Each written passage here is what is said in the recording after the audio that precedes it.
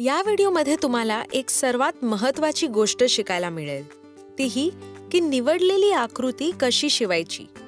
हे शिकण्यासाठी सर्वप्रथम तुम्हाला आवडणारी आकृती बघा. ती सरळ रेषा वक्र रेषा चौकोन वर्तुळाकार किंवा सगळ्यांचं मिश्रण असू शकते. तरी आम्ही सुचवतो की दिलेल्या ग्रिड्सचा वापर करून ते डाउनलोड करा आणि त्यांची ए फोर साईज कागदावर प्रिंट काढा. सरळ रेषांच्या शीट्सनं सुरुवात करूया. या सर्व रेषा सुईंग मशीनवर सुई दोऱ्याशिवाय शिवूयात. सुई कागदाला टोचून कागदावर बिंदूंची एक रेषा उमटेल. सर्वात मोठ्या रेषेपासून सुरुवात करा. कागद प्रेसर फूटच्या खाली ठेवा. खात्री करून घ्या की सुई वर आहे आणि सुरुवातीचा बिंदूच्या बरोबर खाली आणा. प्रेसर फूट खाली करा. सरळ रेष ही फूट ग्रूवच्या मध्ये असली पाहिजे. सुईला खाली आणण्यासाठी बॅलन्स व्हील तुमच्याकडे वळवा. आणि कागदाचा मार्क केलेला स्टार्टिंग पॉइंट टोचा शिवण्यास हळूहळू सुरुवात करा.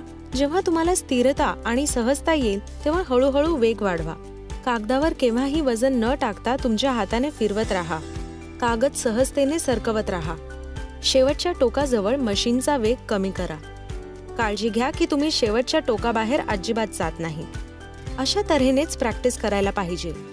प्रेसर फूट उचलून पेपर बाहेर काढा. सर्वात लहान रेषेजवळ पोहोचेपर्यंत ही क्रिया करत राहा. तुमच्या कामात अचूकता आणि नीटनेटकेपणा असायला पाहिजे.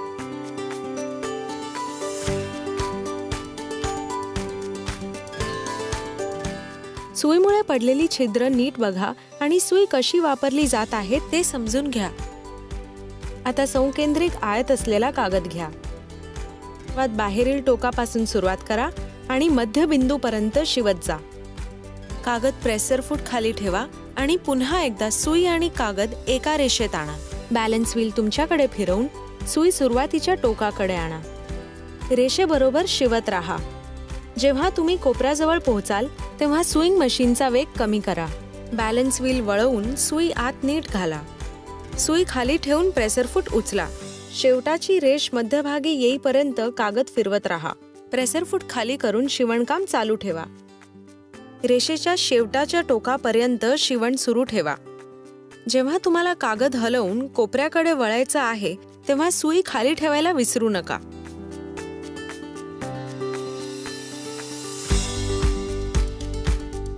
पुढची पॅटर्न आहे वक्र रेषांची आणि ती शिवताना तुमच्याकडे अचूकता असणे गरजेचं आहे. सर्वात लहान रेषेपासून सुरुवात करा. प्रेसर फूटच्या बरोबर खाली कागद आणा. हळूहळू शिवत कागद सावकाश वळवा. जर सुई खाली करून प्रेसर फूट उचलताना कागद वळवणे आणि मध्यभागी आणणे कठीण जात असेल तर शिवायला सुरुवात करण्याआधी प्रेसर फूट खाली करा. पुढच्या सगळ्या रेषांसाठी हीच क्रिया करा. वक्र रेषा शिवताना तंतोतंत शिवा आणि जास्त शिवलं जाणार नाही याकडे लक्ष द्या.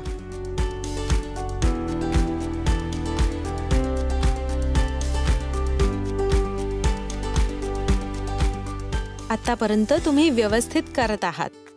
चला आता संकेंद्रिक वर्तुळ असलेल्या आकारांकडे वळूया. या आकृतीसाठी जास्त एकाग्रता आणि अचूक शिवणकाम असणे गरजेचं आहे. म्हणून हे काळजीपूर्वक करणे आवश्यक आहे. हा धडा तुम्हाला वक्ररेखा शिवताना सुईंग मशीनच्या वेगावर नियंत्रण शिकवेल. पुन्हा एकदा सुईच्या खाली तुमचाच सुरुवातीचा बिंदू येऊ द्या. बॅलन्स व्हील स्वतःकडे फिरून सुई हलवा. प्रेसर फूट उचलत राहा आणि कागद हळूहळू मध्यभागी सरकवत जा.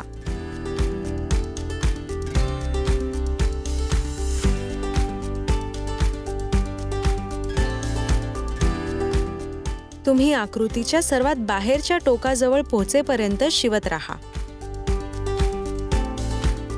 एकदा तुमचं काम पूर्ण झालं की ते तपासा आणि कुठे सुधारायची गरज आहे ते बघा. आता तुम्ही प्रत्येक आकृतीची शीट प्रॅक्टिस केलेली आहे. चला तर आता बघूया या सगळ्यांचं मिश्रण असलेली आकृती तुम्ही कशी करताय. वेगवेगळे वाकडे तिकडे आकार असलेले कागद घ्या. हे आकार तुम्हाला वक्र जागा कोपरे कोन आणि अजूनही बरेच निराळे आकार चांगल्या पद्धतीनं करण्याची प्रॅक्टिस देतील.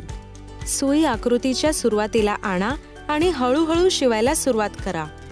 वक्र जागा आणि कोपऱ्यावर सुई खाली ठेवताना प्रेसर फूट उचलायचं विसरू नका. फूट वर करून तुम्ही कागद सरकवून नक्षी एका रेषेत आणू शकाल. चांगल्या प्रकारे ते एकत्र येण्यासाठी बॅलन्स व्हील वळवा.